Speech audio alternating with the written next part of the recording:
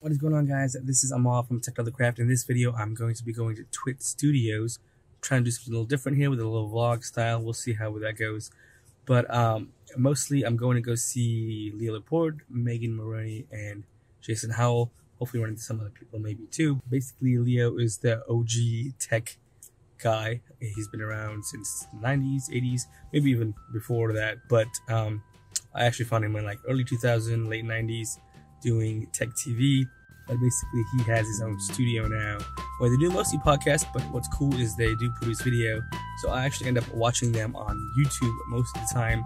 They do shows like iOS Today, MacBreak Weekly, uh, Windows Weekly, all about Android, uh, even uh, like uh, some really deep shows like This Week in Tech and This Week in Google. I really enjoyed. If you guys are interested in some deeper YouTube content that is actually more than just B-roll and and fancy, you know, product reviews.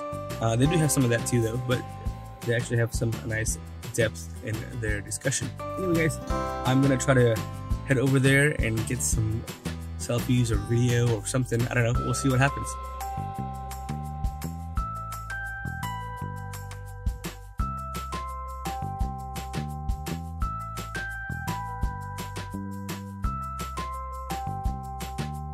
Um, I love your stuff. It is amazing, and um, I can't also wait to see your vegan stuff.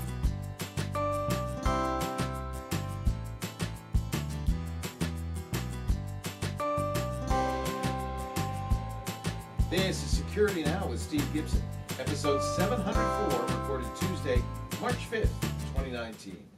Okay, and then do you think that there is really a chance of a robot apocalypse? No. artificial intelligence No. taking over at all? I'll tell you why. Okay. Um, AI, people always assume it's going to be like the Terminator. AI is going to uh, basically go from being able to drive a car to having a mind, a consciousness. And I think that that's a, actually a giant leap. Now, I don't know what makes consciousness. I guess you could, if you're very mechanistic, say, well, you get enough mind, enough thinking going, at some point it develops consciousness.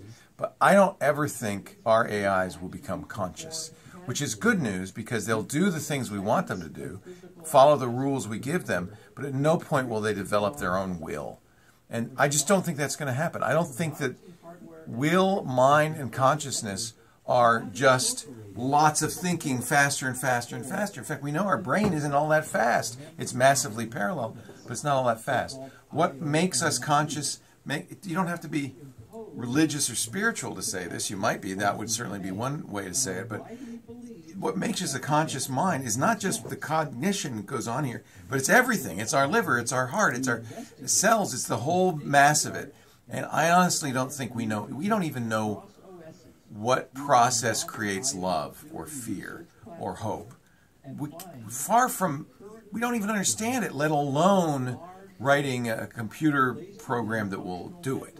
So, no, I'm, I think that that's um, a mistake to assume that super fast, efficient thinking computers will ever get mind consciousness or will. And of course, you'd have to have will to want to kill us.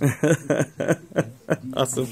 All right, guys. That's Leo, the original tech reviewer. That's Steve. before YouTube came out into being. Well, I'm he was the real tech Yeah, reviewer. Yeah, before YouTube. That's Right. how old I am. anyway, thank you so much. Thanks. Leo. Thanks for the leather goods.